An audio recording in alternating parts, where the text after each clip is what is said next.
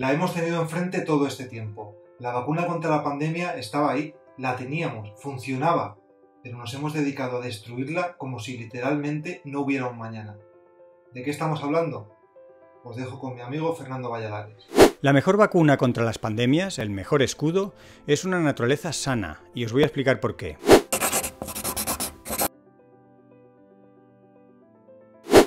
Ecosistemas fragmentados y empobrecidos multiplican exponencialmente las probabilidades de las zoonosis, esas enfermedades de origen animal que saltan a humanos como el COVID-19, el ébola, el Zika, la rabia o la malaria.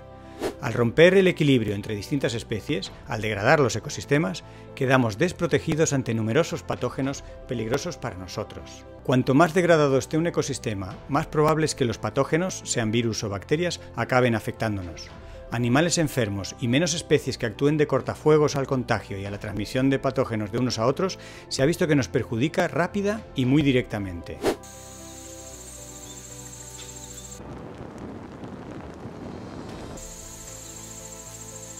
Nature doesn't need people. People need nature. ¿Hacen falta más motivos para cambiar el rumbo de manera radical? Pues los hay, y son muy convincentes.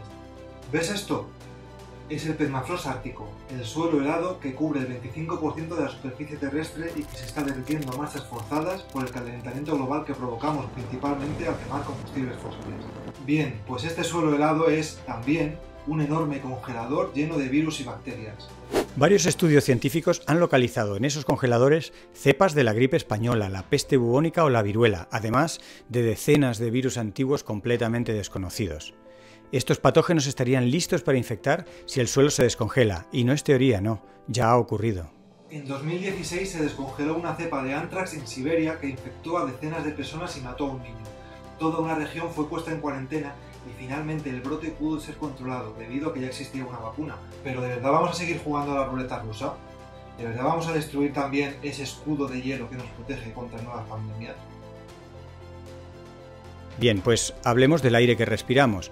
Varios estudios han demostrado que respirar aire contaminado incrementa gravemente la mortalidad por coronavirus, ya que debilita los pulmones y facilita la labor del virus.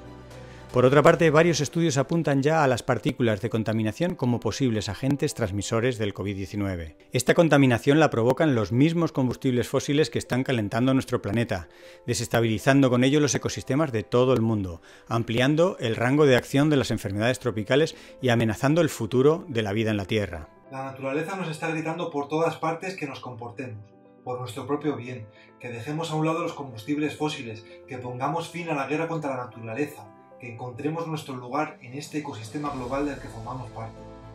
Ahora que toca reconstruir la economía es el momento de hacerlo. Tenemos la tecnología, sabemos lo que hay que hacer. Es el momento de empujar a los gobiernos para que den el paso y pongan en marcha una reconstrucción verde basada en las energías renovables, en la reducción de nuestra huella ecológica y en la protección del medio ambiente. Una reconstrucción que proteja y no destruya la naturaleza de la que dependemos para vivir. Es ahora o nunca.